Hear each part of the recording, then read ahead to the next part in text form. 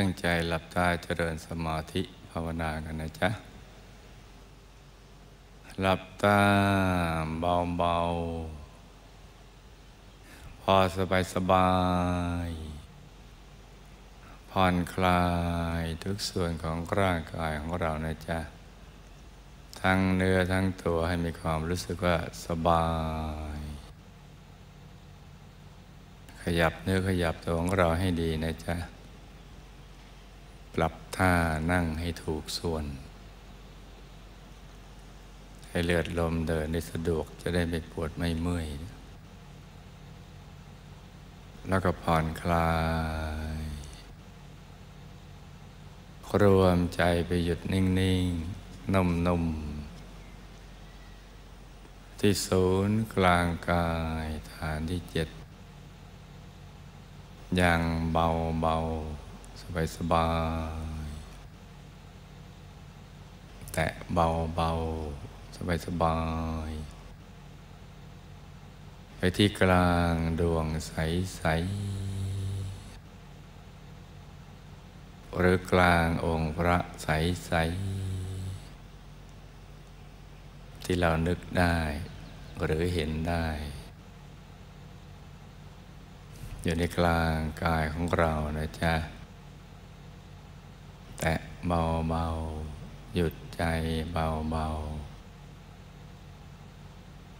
หลับตาเหมือนปึบลือตาพิมพิมอย่าถึงกับปิดสนิทนะจ๊ะ สบายสบาย ใจใสใส เย็นเย็นประคองใจให้หยุดนิ่งในบริกรรมภาวนา สัมมาอรหัง สัมมาอรหัง สัมมาอรหัง จนกว่าใจจะหยุดนิ่ง ส่วนใครใจหยุดนิ่งแล้ว ก็แตะเบาๆ ไปตรงกลาง ดวงใส ๆ หรือกลางองค์พระใสใสอย่างเบาเบาสบายสบายใจเย็นเย็นเมื่อใจถูกส่วน ใจจะไม่ติดอะไรเลย มันจะปล่อยหลุดปล่อยพ้น ทุกสิ่งทุกอย่างเลย หลุดก็ไปติดตรงกลาง กลางดวงใสใสกลางองค์พระใสใสอย่างนิ่งนิ่งนุ่มนุ่มเบาเบาสบายสบายดวงก็จะขยาย องค์พระก็จะขยาย โตใหญ่ยิ่งขึ้น อย่างง่ายๆ ใจจะใสใสเย็นเย็นมีความสุขภายใน จากการเห็นดวงธรรมหรือองค์พระใสใสที่ขยายออกไปอย่างไม่มีที่สิ้นสุด เรื่อยๆ กายก็ยิ่งฟ่องเบา นุ่มนวล นิ่งแน่นหนักยิ่งขึ้นไปเลย ยิ่งนิ่ง ยิ่งใส ยิ่งสว่าง ยิ่งชัด ชัดเหมือนลืมตาเห็น เห็นดวงเห็นองค์พระใสใสที่ใส เหมือนเพชรอย่างน้อยก็เหมือนน้ำใสใสเหมือนน้ำแข็งใสใสหรือเหมือนกระจกใสใส สว่าง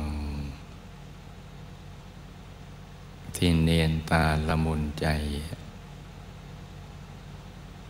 ใจเราจะอบอุ่น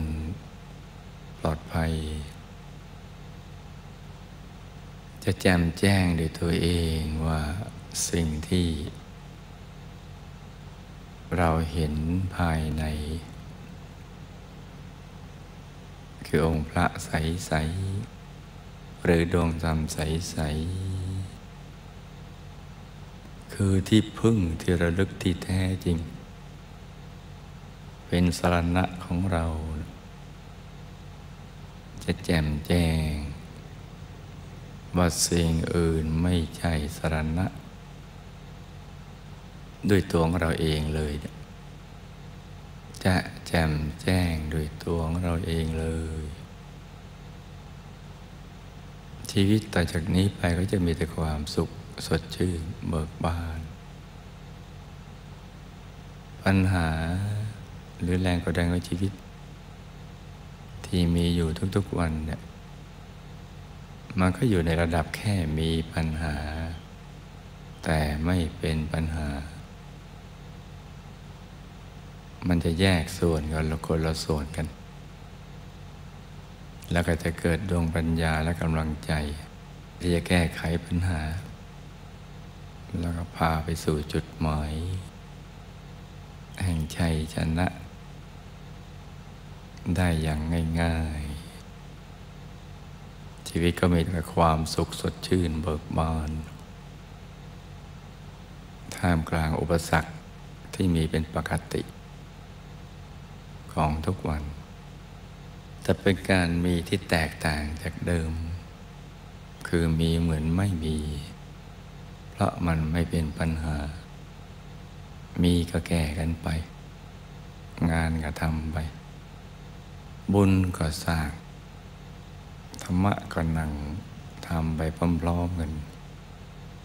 ภายในก็เข้ากลางไปเรื่อยๆ อย่างเบาๆ สบายๆ ถ้าใครได้อย่างนี้ ชีวิตนี้ก็สมหวังแล้ว แม้ยังไม่ได้เป็นพระอริยเจ้าก็ตาม ก็ได้ชื่อว่าสมหวังในชีวิต พระมีพระรัตนตรัยเป็นที่พึ่งภายใน จัดอยู่ในระดับโคตรภูบุคคล ถ้าอุปมาก็เหมือนกับเป็นเฉลยสกิติมศักดิ์คือเราก็ยังเป็นบ่าวเป็นท่าพยามารแต่มีทางออก ทางหลบทางพ้น จากความทุกข์ทรมานของชีวิต แม้ว่ายังไม่หลุดพ้น จากกิเลสอาสวะก็ตาม ระหลุมหลบภัยอยู่ที่ศูนย์กลางกายฐานที่เจ็ดที่ใจเราหยุดนิ่งอย่างดีแล้วทำให้คล่องแล้วจำนานแล้ว เข้าถึงดวงใส องค์พระใสใสได้ชื่อว่าเป็นเฉลย กิติมศักดิ์ซึ่งแตกต่างจากเฉลยทั่วๆไป ที่เป็นบ่าวเป็นท่าพยามารแต่ไม่รู้หนทางออกของชีวิต ชีวิตของเขาก็จะไม่ปลอดภัย ไม่มีใจชนะ ไม่ได้อยู่เป็นสุขในปัจจุบัน เป็นเฉลยธรรมดาทั่วไป ไม่ใช่เฉลยที่ยกระดับเป็นกิติมศักดิ์ที่มีทางออก อย่างผู้รู้ระดับหนึ่งที่ เข้าถึงดวงธรรมใส ๆ องค์พระใส ๆ เพราะฉะนั้นก่อนที่เราจะสร้างมหาทานบารมี ให้เป็นบุญใหญ่ติดตัวไปข้ามภพข้ามชาติ ก็ให้ลูกทุกคน หยุดใจนิ่ง ๆ นุ่ม ๆ เบาเบาสบายสบายผ่อนคลาย อย่างถูกหลักวิชานะจ๊ะหยุดนิ่งดมเบาสบาย ตรึกนึกถึงดวงใส ใจหยุดในกลางดวงใสใส หรือตรึกนึกถึงองค์พระใสใส หยุดอยู่ในกลางองค์พระใส ๆ อย่างสบาย ๆ กันนะจ๊ะ